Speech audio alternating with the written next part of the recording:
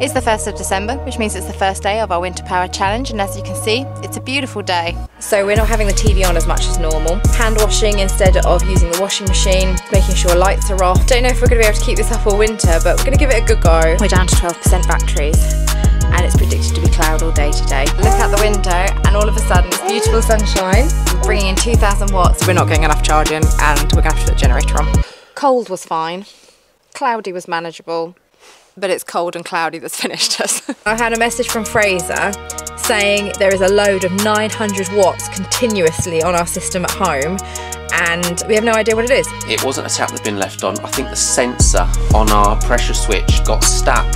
So I bought this thing. So as long as I've got internet, I can start that up when I'm at work or anywhere really in the world, I guess. I don't know why that's 20%. I don't know what that seems supposed to mean.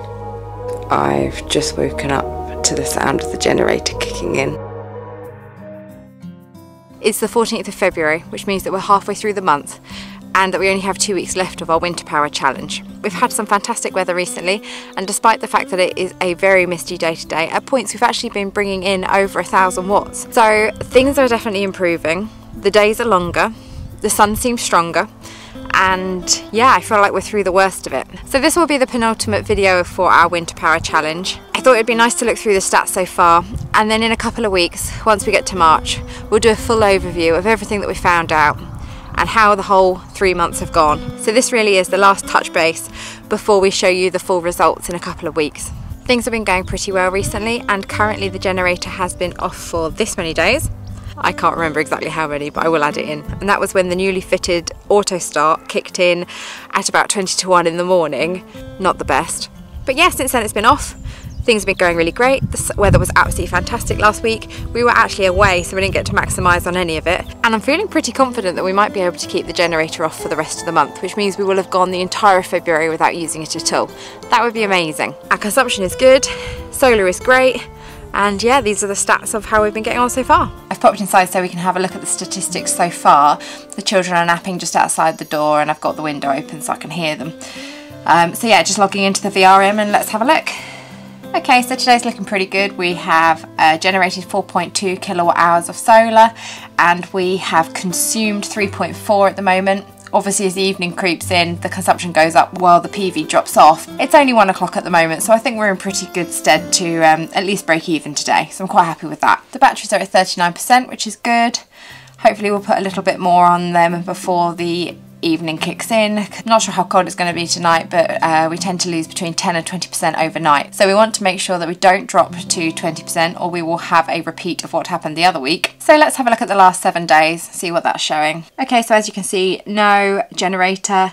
We've got 56, 56 kilowatt hours generated from solar and 48 kilowatt hours consumed. So that's really positive. And if we come out a little bit further and look at February,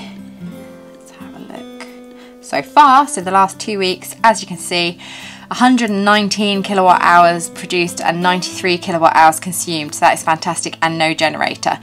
So I think our record was, I think we were on about 13, 14 days was our record. So if I change this to include the end of January, you can now see the last time that we used our generator was on the 30th of January at one in the morning,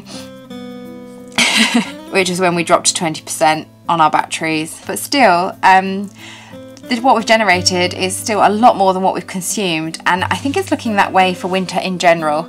I haven't counted up how many times we used the generator yet. I haven't had a look at um, the winter stats overall. We will do that in a couple of weeks when we finish.